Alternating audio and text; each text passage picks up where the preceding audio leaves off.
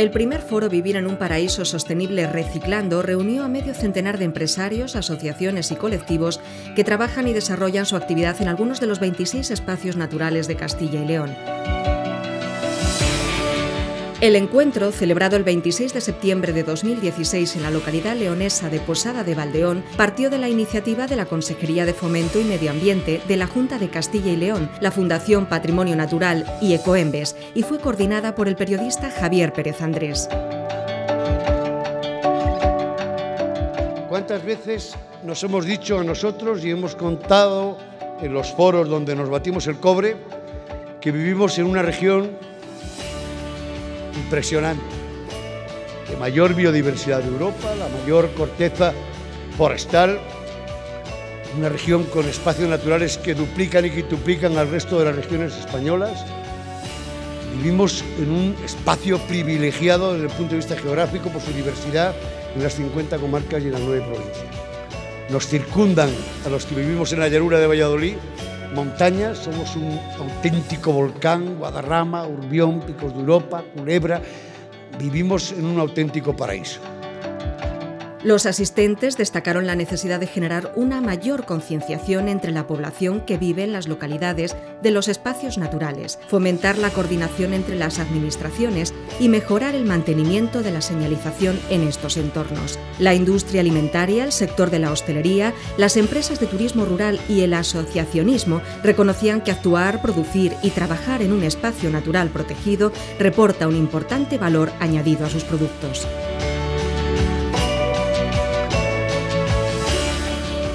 El director general de Calidad y Sostenibilidad Ambiental, José Manuel Jiménez, apuntó que la comunidad tiene que liderar la apuesta por la generación de empleo verde, vinculado a los espacios naturales. Y gracias por dos razones fundamentales. Primero, pues a todos vosotros por haber elegido en un momento dado un espacio natural de nuestra comunidad autónoma para desarrollar vuestra actividad empresarial y vuestra actividad vital. Seguro que eso os ha supuesto, como decía antes, superar muchas dificultades de venir, del desarrollo de estas actividades, pero que sin duda pues, también habrá mejorado vuestro negocio, vuestros productos, habrá mejorado al final el objetivo de, esta actividad que en buena medida eh, os ha ayudado, os ha ayudado a crecer como empresas y espero que también a crecer como personas. Por su parte, Ángel Herbella, director de gestión local y autonómica de Ecoembes, se refirió a la economía circular como el instrumento de una nueva revolución industrial donde los residuos se conviertan en recursos. El futuro, y en esta época de cambio que estamos diciendo, no se entiende sin el ciudadano. Un ciudadano además consecuente, un ciudadano que conoce, que sabe, que entiende, porque cada vez estamos mejor comunicados, que entendemos más las cosas. Necesitamos comprender el desarrollo sostenible va a ser sostenible en la medida que todos nosotros conozcamos y comprendamos lo que pasa. No aquí, sino en todos los lugares.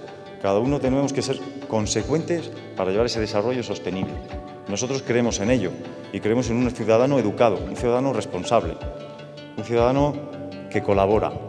Y eso es uno de los pilares, uno de los pilares básicos que, tenemos en, en Ecoembes. La economía circular se convierte y, tiene que ser un instrumento para ser una revolución, una nueva revolución industrial. Se ha acabado ya la economía de usar y tirar, una economía lineal, usamos y tiramos, sino que es una economía circular. Es una economía en la que los residuos van a servir de recursos, ya no vamos a, vamos a romper el crecimiento económico con el uso de recursos, ¿no? porque no hay recursos en la tierra para, seguir creciendo. Ya no se habla de la jerarquía de las tres R's que conocemos todos, ¿no? reducir, reutilizar y reciclar. Se habla de la jerarquía de la multi-R. Va a estar en toda la cadena, en la distribución, en el consumo y en la producción. Se habla de reparar, remanufacturar, redistribuir, reducir, reutilizar, reciclar, repensar, rediseñar. La conferencia inaugural, que corrió a cargo de José Luis Prada, empresario agroalimentario berciano con más de 30 años en el sector, confirmó que sí es posible defender los ecosistemas, invertir en naturaleza y conseguir una oferta turística ordenada, respetando siempre las producciones autóctonas, los cultivos y los paisajes. Cuando alguien cree en algo, lucha por eso y disfruta por eso, va a triunfar siempre. Lo que no puede ser es egoísta. Si es egoísta y nada más va a que su negocio funcione y a la par, al unísono y al rescoldo, no sube el entorno, entonces podrá hacer negocio, pero no va a crear región ni va a crear futuro. Esa es la felicidad total, cuando haces algo que te ha costado esfuerzo y otros no lo pueden hacer, y dices, pues bueno, pues yo lo voy a hacer. En esa tesitura de disfrutar de las cosas es como se consigue que una región vaya adelante. Todos concluyeron que la concienciación de la población local debe pasar por enorgullecerse a la hora de pertenecer a un espacio natural, un sentimiento clave para defender los recursos propios.